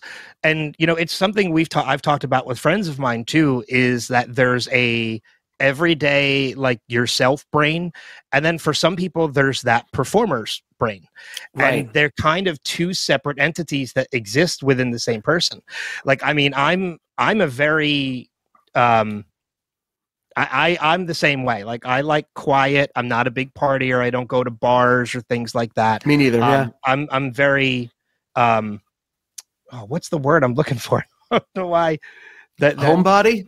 well i am i am a homebody and such but like i i like things very quiet and subdued Right. but but at the same time that's when it's when people know that about me and they learn that about me they're also surprised to learn that i love going to conventions Right. and being on stage in front of crowds of hundreds to thousands of people But They're that's like, well- different. that's a different part of you. You know, they're both you. They're just different parts of you. that's the performance brain Correct. exactly you know that's like oh, that's a completely different part of me and um introvert that's the word i was looking Introvert. for introvert i'm, But you I'm very introverted but that part of me is very extroverted and loves doing it. And i'm like well first off it's a performance. So I, it's a mindset that i have to get into to do it. Even though i'm still me i'm not doing anything differently outside of my own personality. It's still a performance in a way. Right.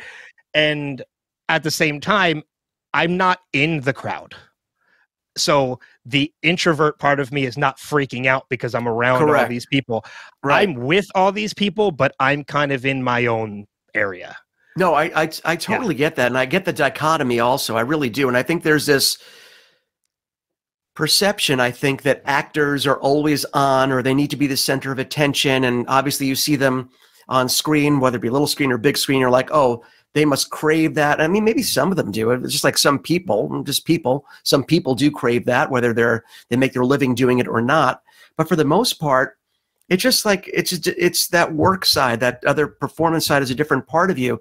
I don't need I don't like standing up and talk. I mean, I can stand up and talk to a thousand people, not a problem. I can do it.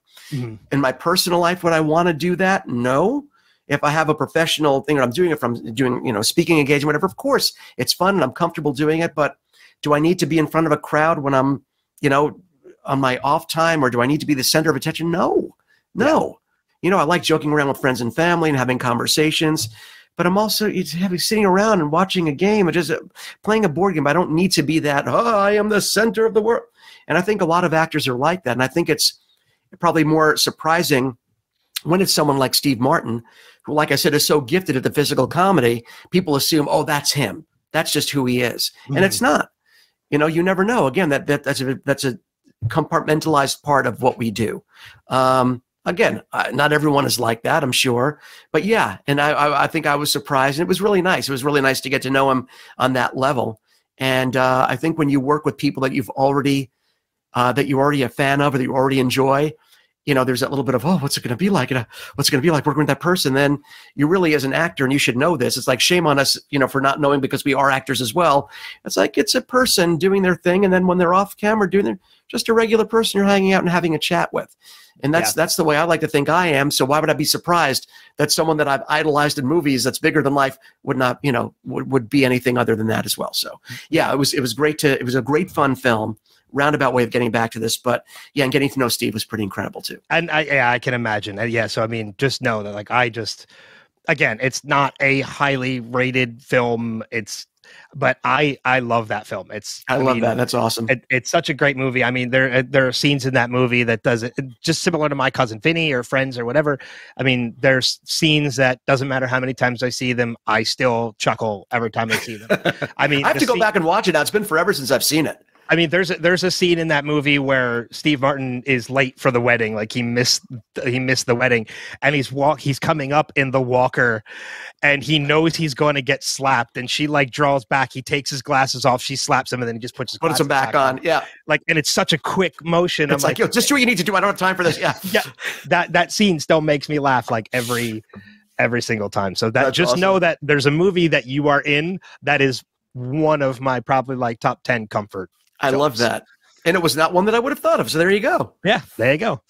Um, I know we're we're we're a little over an hour. Actually, we're we're hitting about the hour range, so we'll we'll get ready to wrap some things up. But um, you know, more lately in your career, you've been focusing more on, you know, voiceover. You know, you mentioned Yes. TMNT and Transformers, um, and I know there's a number of other projects that you've worked on. Did the did the transition to going from on camera to behind the mic, did that kind of happen naturally, or was that something more you kind of just wanted to focus towards? I think that's a great question. That I think it's a combination of the two. Um, as an actor, uh, you know, we all have egos as human beings.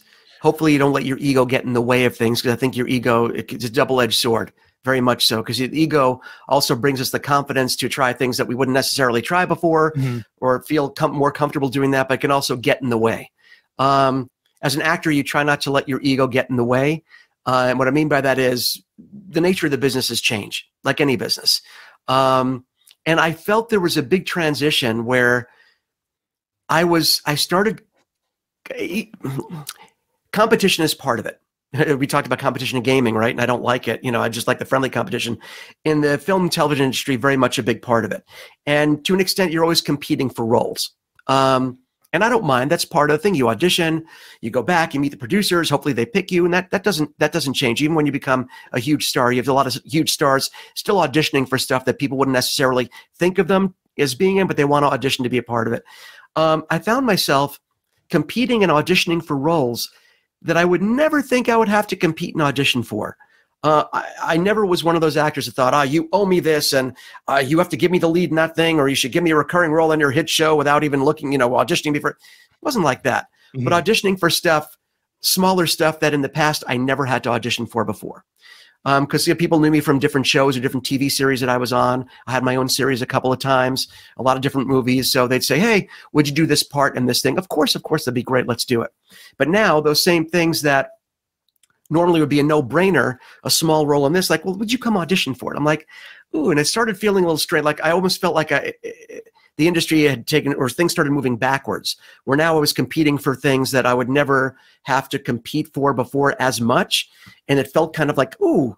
And again, that doesn't mean that I didn't wouldn't audition. How dare you make me audition? It wasn't that. It mm-hmm. was a types of roles that were coming around that people would normally feel very comfortable saying, "Here, we'd like you to do this part." And I'd say, "That'd be great. Thank you for having me. I'd love to do it." And they're like, "Yeah, we want you to come audition for these three lines on this thing." I'm like, "Oh, I do really want to do that." And it started feeling a little icky, for lack of a better term. The voice world started picking up simultaneously, so it was sort of like it was the perfect thing happening at the perfect time. Um, I'd always done voiceover. I'd done voiceover work for about the last 45 years. So maybe 46 years. I guess it started when I was 12. That makes me 58. I'm good at Oh, math. oh wow! I didn't realize it was that far back. Yeah, yes, yeah. So I started like, yeah, at least like 46 years ago. And then animation started for me probably mm, maybe 20 something years ago. Uh, getting because that's you know that takes a little bit longer to break into than just traditional voiceover work, Mhm. and that's more out. Voiceover was big in New York, animation more out here. So once I started breaking into that, it sort of coincided with me not auditioning quite as much because I didn't feel as comfortable. Um, so it was sort of the perfect storm. So that started picking up. Now, to, to take it to the next level, would I go back on camera, TV, and film? Absolutely. Absolutely. That was going to be a Um, question I was going to ask. Yeah, well. yeah, yeah. If the right thing came along, I absolutely would. The only thing that's changed is like my day to day isn't me auditioning for film and TV anymore. Mhm. Would I still do it? Uh, absolutely. And if the right project came along, would I audition for it? Of course. But just my daily routine of like going out, running around, audition for this show, audition for this show, it isn't like that anymore. But I, of course, I would still do it. Of course, I would still audition for something. Um, I still have people that I've worked with that ask me, well, "Would you audition?" Like, of course I would. I'd love to work with you or audition. So yes, it's still out there. But I think my day to day of going out there and you know wanting to be on camera, it's really subsided. And the the thing about the voice world, which a lot of people don't realize, for a lot of people, like you know, they they say it in a lot n- less nice way than you put it. Like, oh, do you really miss being on camera? That's so sad. I'm like, no, no, it's not sad. And I'm actually quite fulfilled. And the great thing about voice work, and I've talked about this before, is as, a, as an on-camera actor, Ben, you're used to when you're auditioning for something, the second you walk in that room, you, before you speak a word, Your half audition the, has started. half the, half the decision's already made. Yep. Forget that it started. They're already looking and going like, nope, that's not our guy. Well, let's let him finish his audition because he hasn't even spoken yet. So let's get through this. So you're used to being judged by this instantly before you Mhm. said word one. The great thing about the voice world is you know, you're sending an audition remotely for the most part, or they're hearing a recorded audition that you did, and they're judging you just on how you sound. So I can look like this and still talk like this and sound like, you know, come on, guys, let's go. So for to a great extent, I could still sound like a teenager, maybe a little creepy. No.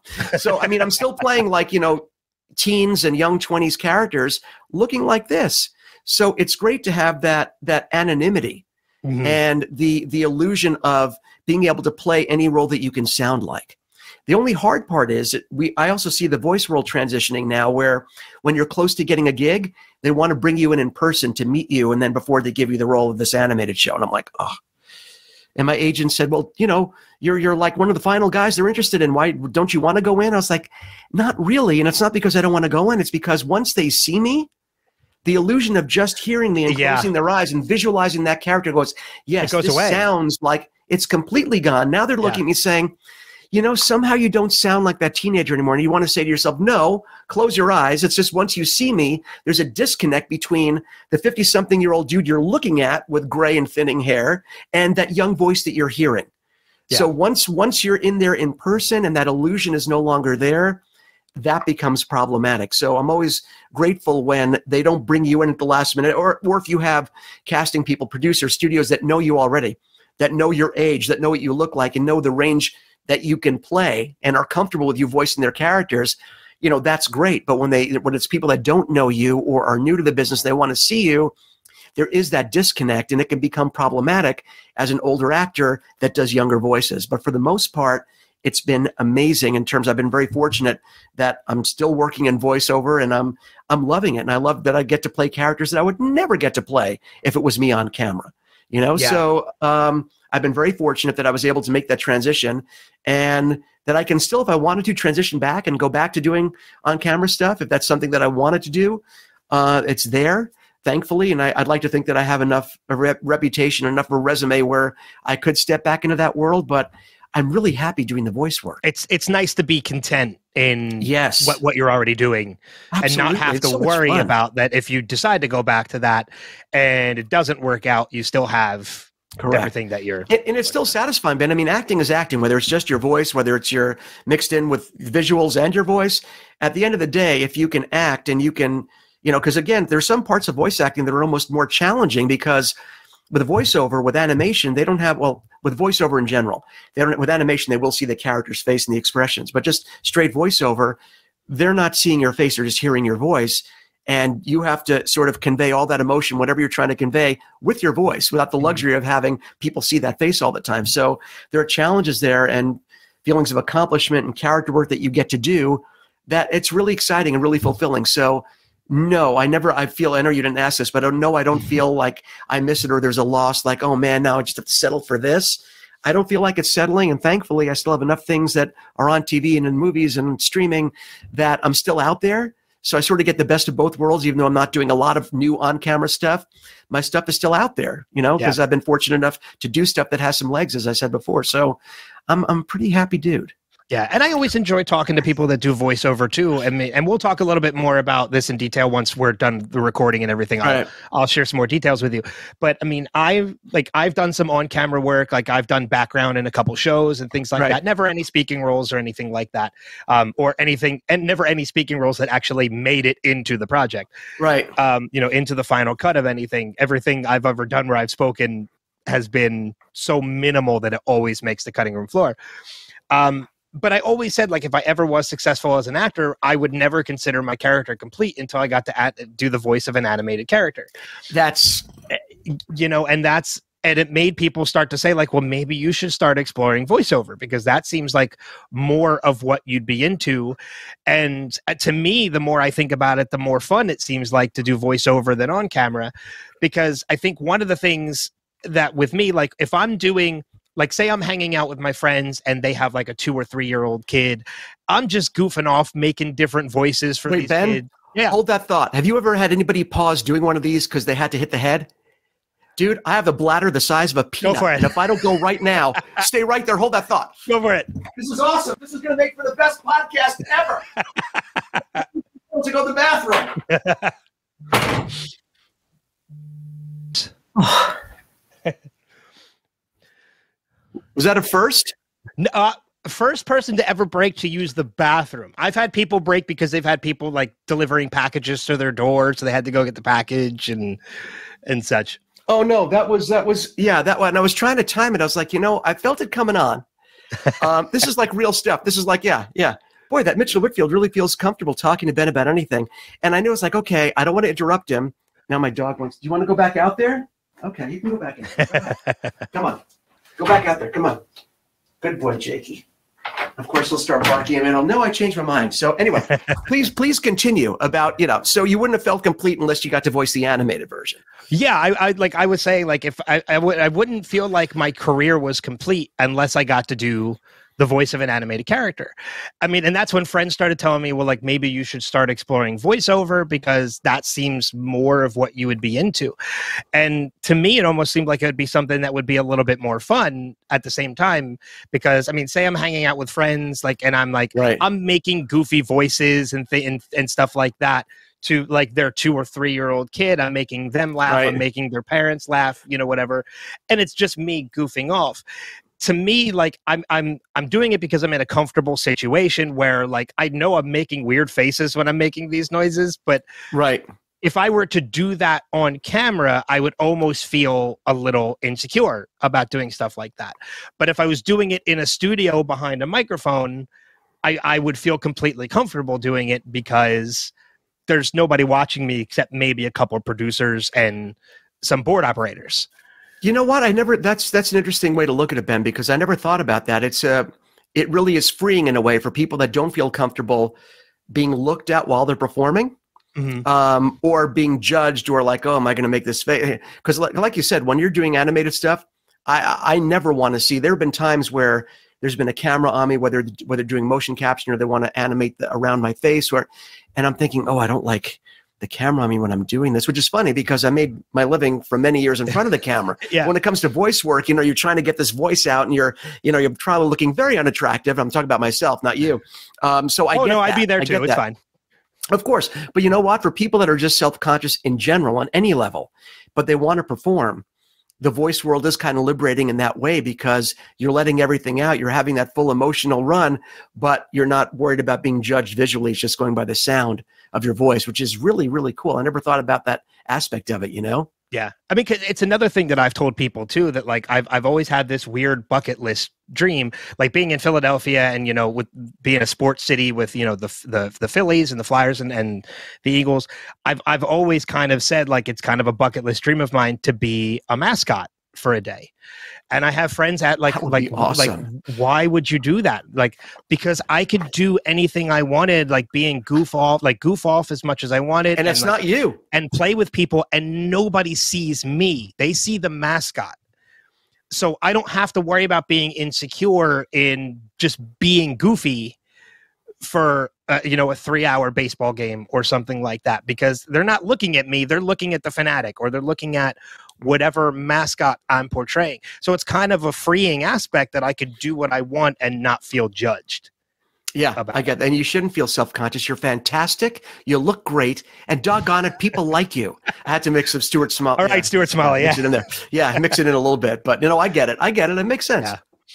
So yeah, that's that's great. So I mean, that's another reason why I like talking to voiceover people because I like getting inside the minds of like why they enjoy doing it, and it's nice to know that there's a lot of similar aspects as to, I mean, because in in in an aspect of it, podcasting really is voiceover work.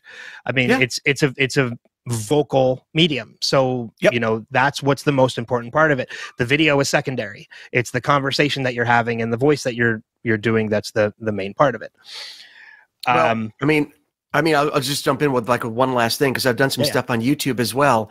And the funny thing about YouTube is, and people, it's going to sound counterintuitive, but it's absolutely true. When we were doing our first bunch of videos, people said, look, people will tolerate a video that doesn't look great. They won't tolerate a video that doesn't sound great. Yep. And it's funny when the when the medium is visual, you rely on the sound to sort of guide you You know, it's okay if you can't necessarily things visually don't look exactly as you want them to look, but if they don't sound good, so it sort of goes into what you were just saying. So yeah, the Yeah. audio becomes a huge part. You can get very distracted if there's warbly audio. I mean, the picture can be crystal clear, 1080p, 4K, whatever it is. But if that Yep. audio is like warbly or echoey or something, yeah, it really takes you away from the moment of what you're watching. Yep. Um, Spend on your sound equipment, folks. It just that's where it pays off the most. Yes, I, I completely agree. Uh, uh, any future projects that you're working on now that you kind of want to talk about and, and kind of get out there? I can't. The one that the one that I'm wa- Okay. working on right now, I'm doing a new uh, Disney series, which is going to be on Disney Junior and I think Disney Plus. I think I know it's on Disney Junior. I'm not allowed to talk about it yet. Okay. Um, but I will. I- I will be. I'll be back. I will be back, and I will be able to talk about it soon. Anything else that's going on? No, I just want to talk more board games with you, man. What is wrong with me? Oh, wait, What is wrong with me? That all I want to do is talk board games with you. Is that sad? No, not at all. I mean, we can definitely. We'll talk a little bit more after the recording's over. Oh yeah, I'm Um, surrounded by all these great games, but no, no. The, in terms of work, um, I might be starting something here. And I also have one of these cameras. It's now it's now in follow It's mode. it's following you. Yeah. Yeah, but I have to. I could turn that off too. Um, I might be starting something else later in the year, but for right now, it's that one Disney show that I'm not allowed to talk about. Uh, but otherwise, you know, you can find me on a streaming service near you, or on the Instagrams and on the interwebs. Um, before we wrap it up, Yes. uh, this being a movie and television themed podcast, I, I got to ask. This is going forward. This is how I'm trying to end all my conversations that I have with people. Uh, Okay. And and being the end of the year, this is the perfect opportunity to do it. Uh, what's one movie and or television series you really really enjoyed seeing this year, and what's Hmm. one you're looking forward to seeing coming up? Oh wow, that's a great question. Um, I I very much I very much enjoyed the MCU over the past couple of years.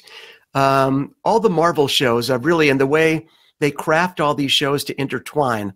Mhm. Um, whether it be Loki, She-Hulk, I mean, there's so many great things coming from the you know Marvel Cinematic Universe. I really, really enjoyed it, and I'm very much looking forward to seeing how they tie together more. And I think I talked about this on a podcast podcast a little while back, especially how they tied in Daredevil with She-Hulk. So I've really That's been so enjoying good. that. It's so good, and I, I really like that version that they were sort of Daredevil, uh, the less dark, grim, being beaten to a pulp every episode version. Um, so I'm really interested to see how that continues and how sort of the, the TV shows influence the cinematic world as well. I've very much been enjoying that. And I'm looking forward to that. Same thing with Star Wars, um, all owned by the same company. Yeah. Um, of course, I, I, I this is going to be sad. I, I also look forward to my rewatch of Grimm coming up in the next couple of weeks and my rewatch of Fringe, which is happening as well. And now, since we talked, I'm going to have to do Chuck all over again yeah, too have to do but a I'm Chuck trying to think of there. Oh God, uh, I'm trying to think what other series I've been watching aside from uh, the Marvel and Star Wars stuff.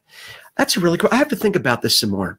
Okay. Right now, I'll stick with the MCU and the Star Wars universe and and my my three staples: Grimm, Fringe, and Chuck, which sounds like a highly dysfunctional law firm. so there you go. Uh, do you uh, do any of the Disney Plus series stand out as a favorite from the MCU? Because I have a favorite.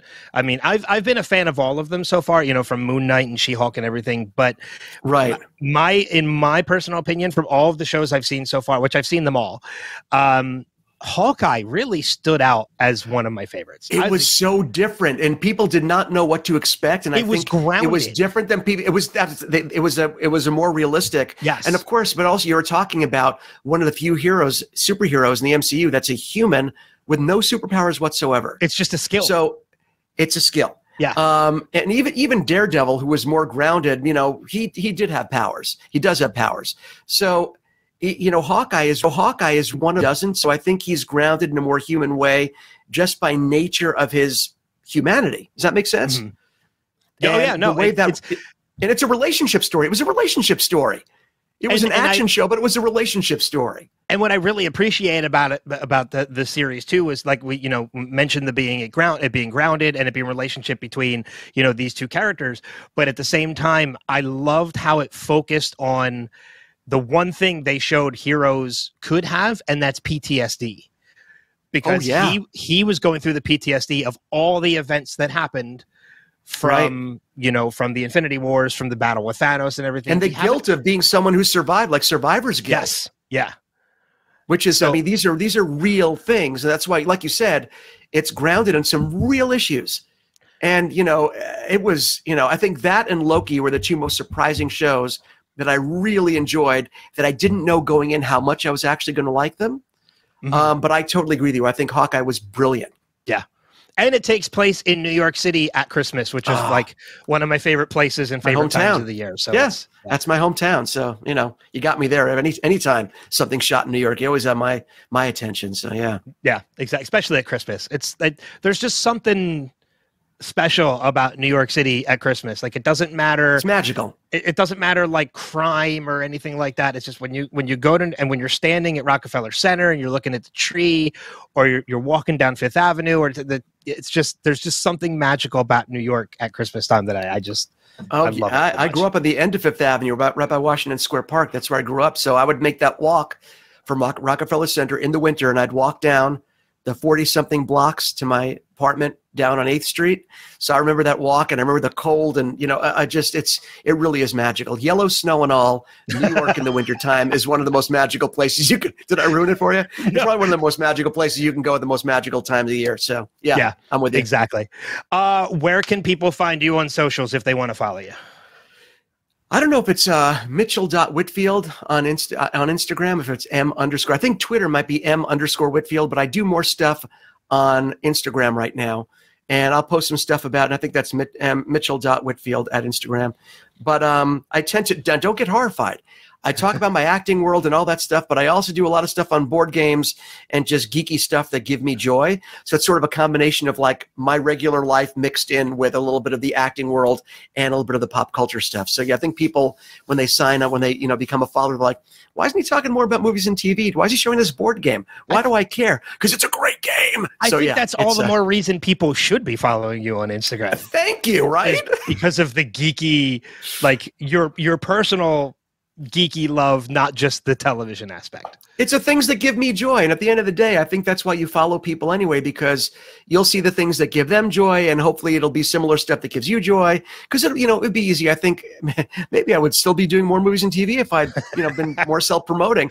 I know you could use it to self promote on on Instagram and Twitter and anywhere, TikTok, wherever you want to do it, your platform of choice. But for me, it's more about you know I didn't want it to become a job. I just wanted to just occasionally post stuff that either made me laugh or made me smile or gave me joy you know, whether that's my family in Hawaii and a little picture in Hawaii, or you know, like the new board, or I just posted today my new Xbox controller. This this is this is who I am. This is who I am. that sounded really good. Wow, I should do voice work. that's why you're in oh i was going to say that's why you're in voice work but your yours, Exactly. yours was better uh but mitchell i know i've taken up enough of your time for for tonight No, for this great. conversation uh i I, I mean, I hope I get you. I hope you you come back on in the future. We got to talk. Chuck. Anytime you want. Yeah, I, I I appreciate that so much. Um, I love that Jill. Shout out to Jill one more time for making the connection. Yes, thank you. Jill. I miss you already. Uh, for doing this. Uh, but to everybody out there who's watching or listening, uh, thank you so much for a great year. Again, this was the final episode of 2022. We'll be back in January of 2023 with all new episodes. Follow on the socials, wilhelmpodcast.com to subscribe to the podcast. And of course, follow on Facebook, facebook.com slash Wilhelm Podcast, and Instagram at Wilhelm Podcast. Mitchell, thank you one more time for coming on. This was so much fun. Thanks for having me. Appreciate it.